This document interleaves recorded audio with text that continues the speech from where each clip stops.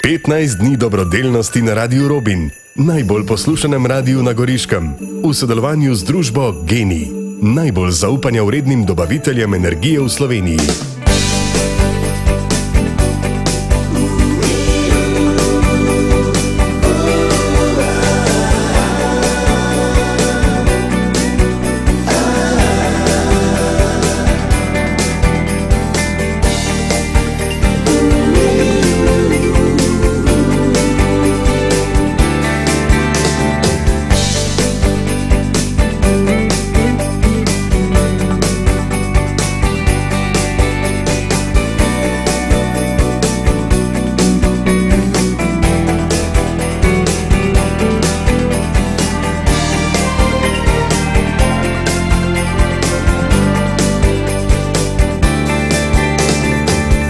15 dni dobrodelnosti na Radiu Robin, najbolj poslušanem radiju na Goriškem.